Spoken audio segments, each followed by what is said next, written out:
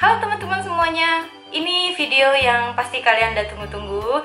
Jadi seperti aku bilang di instastory aku kemarin Aku tuh lagi nyobain produk yang bisa untuk menghilangkan acne scar Aku sempat baca-baca reviewnya, katanya treatment yang aku lakukan ini lebih berpengaruh daripada treatment yang baby acne scar jadi akhirnya aku putuskan untuk mencoba. Tapi sebenarnya aku agak takut sih karena ini aku lakukan sendiri dan prosesnya itu hampir sama waktu aku melakukan treatment di klinik kecantikan yang pernah aku ceritakan ke kalian treatment yang pengen aku coba hari ini itu adalah ini micro needle therapy. Produk ini aku beli di Shopee dan waktu itu aku beli ini 530.000. Kalian bisa cari aja sih di Shopee. Kalian tinggal ketik Dermapen. Biasanya tuh akan muncul cukup banyak itu yang jual Dermapen. Nah, dalam satu kotak ini dia ada yang pasti ada penjelasannya. Kemudian ada alatnya. Ini alatnya seperti ini. Itu kayak gini dan di sini ini ada ada untuk mengatur seberapa dalam nanti jarumnya akan digunakan. Kemudian di sini ada tombolnya untuk dipencet. Dia ini untuk mengatur speednya tuh seperti apa. Dan dalam paket itu juga aku udah dapat 5 needle-nya, 5 jarumnya. Dan satu lagi dia udah ada kabelnya untuk dicolok ke listrik. Jadi dia ini pakai kabel gitu kalau yang kemarin Benny sama Scar dia itu kan roller jadi dia nggak perlu pakai charger begini. Dia chargernya kayak charger handphone gitu. Sebelum aku melakukan treatment ini ada langkah-langkah yang harus aku lakukan. Pertama pastinya aku udah mencuci muka aku. Kemudian aku akan menggunakan krim anestesi. Kalau waktu di Benny Sakna sekarang aku tuh nggak pakai krim anestesi karena jarumnya tuh sangat kecil 0,5 mm dan sekarang ini jarumnya itu yang akan aku gunakan bisa diatur dan aku pengen nanti jarumnya aku atur 1,5 mm untuk bagian acne scarku yang masih ada di sini. Dan sekarang kita langsung mulai aja ke step pertama yaitu mengaplikasikan krim anestesi. Aku aplikasikan hanya ke bagian acne scar yang menurutku agak dalam dan aku aplikasikannya agak tebal. Setelah itu tinggal menunggu sekitar 30 menitan. Step selanjutnya, sebelum menghapus krim anestesi, siapkan peralatannya terlebih dahulu. Gak lucu kan kalau kita udah siap, tapi ternyata peralatannya belum siap? Nah, karena aku ngikutin step yang aku ingat waktu dulu perawatan MTS di klinik kecantikan, jadinya aku hapus krim anestesinya per bagian. Karena aku mau ngerjain pipi sebelah kanan terlebih dahulu, jadinya aku hapus krim anestesinya sebelah kanan dulu dengan NaCl. NaCl ini aku beli di apotik dan aku ambil ukuran yang kecil jadi biar untuk sekali pakai aja.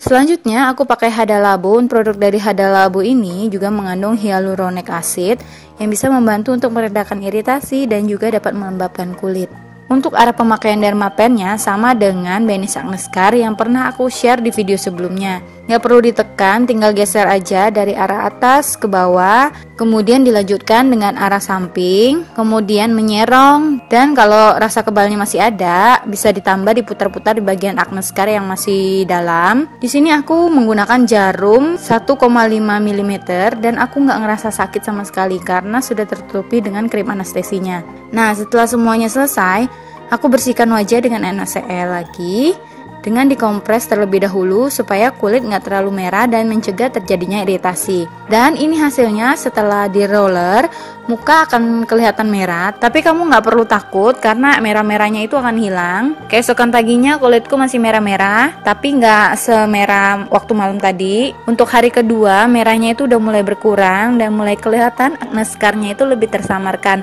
tapi belum hilang loh guys. Nah di hari ketiga, merah-merahnya hampir mulai nggak kelihatan lagi dan terlihat ada kulit yang mengelupas gitu. Untuk hari keempat, merah-merahnya itu benar-benar nggak kelihatan sama sekali. Dan di hari kelima bener-bener udah nggak kelihatan lagi merahnya, cuma masih ada yang mengelupas. Oke teman-teman itu dia tadi hasil dari aku menggunakan dermapen. Jadi setelah menggunakan dermapen, biasanya tuh besoknya itu akan merah-merah dan kalian nggak perlu khawatir karena untuk kulit aku yang sensitif pun itu kurang lebih ya kurang lebih tiga hari dia itu merah-merah tapi setelah itu dia udah nggak terlalu merah lagi Nah, pertanyaan yang sering banget pastinya kalian tanyakan yaitu sakit apa enggak? Karena kemarin aku menggunakan krim anestesi, jadi aku nggak ngerasain sakit sama sekali.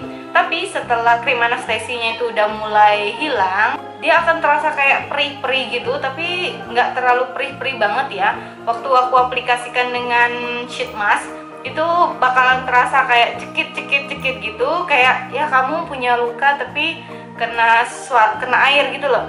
Tapi aku sih nggak terlalu ngerasa sangat sakit banget ya. Kalau dikasih nilai 1 sampai 10 10 itu sakit banget dan satu itu nggak sakit sama sekali. Jadi aku akan kasih rating sekitar 3 ya jadi itu nggak terlalu sakit banget. Untuk keesokan harinya aku tuh ngerasain kulit itu jadi langsung halus banget. Dan untuk Agnes Scar itu kelihatan banget itu kayak kulitnya tuh naik semua. Tapi untuk hari keduanya aku tuh ngerasa kulit itu jadi kasar. Kenapa? Karena ada kayak mulai apa ya kulit itu jadi kering-kering gitu. Kayak apa ya mau mengelupas gitu loh. Nah di hari ketiganya ada yang mengelupas di bagian sini. Tapi dia tuh nggak ngelupasnya tuh nggak parah banget. Dan itu nggak perih sama sekali mungkin karena kulitnya itu berganti jadi dia kayak regenerasi sel baru gitu. Dan untuk hari keempat kelima aku nggak terlalu ngerasain apa-apa lagi. Sakitnya nggak ada sama sekali mungkin untuk treatment berikutnya aku akan coba menggunakan jarumnya itu di kedalaman 2 mm semoga aja berhasil. Dan untuk sekali pemakaian yang aku rasakan itu Agnes Scar itu lumayan naik, lumayan kelihatan banget. Dibanding aku menggunakan Benis Agnes Scar kemarin ya. Kalau Benis Agnes Scar kemarin menggunakan tiga kali treatment baru mulai kerasa kayak kelihatan banget Scar itu agak naik karena mungkin kan emang jarumnya lebih kecil ya. Larangannya setelah menggunakan Dermapen ini hampir sama dengan penggunaan Benis Agnes Scar kemarin. Nah kalau Benis Agnes Scar kemarin satu kali 24 jam ya itu nggak boleh menggunakan make up. Tapi kalau menggunakan Dermapen ini karena dia memang kayaknya lukanya itu sangat dalam sampai kadang tuh berdarah. Nah itu seminggu diusahakan nggak pakai make up supaya kulit itu benar-benar jauh dari make up Terus juga kalau keluar menggunakan sunscreen supaya kulitnya nggak kena efek buruk dari sinar matahari. Untuk skincare yang aku gunakan selama perawatan ini aku akan update ke video berikutnya setelah aku menggunakan pemakaian Dermapen kedua kalinya oke okay? nah jika kalian punya pertanyaan mengenai Dermapen ini aku akan menjawab sebisa aku dan menurut pengalaman aku jadi di video ini aku mau disclaimer sekali lagi aku bukan ahli dalam menggunakan Dermapen aku pun menggunakan Dermapen ini dengan mengikuti pengalaman aku waktu aku melakukan treatment di klinik kemudian aku cari juga infonya di internet di YouTube. Pastinya kalian bijaklah dalam me, apa ya dalam menyerap informasi dan semua efek pastinya berbeda di setiap kulit orang. Di video ini aku hanya share cara aku menghilangkan acne scar. So segitu dulu video dari aku. Thank you banget buat kalian yang udah nonton. Kalau kalian punya pertanyaan jangan lupa komen di komen box di bawah dan aku akan update di video berikutnya. Oke, sampai ketemu di video berikutnya. Bye bye.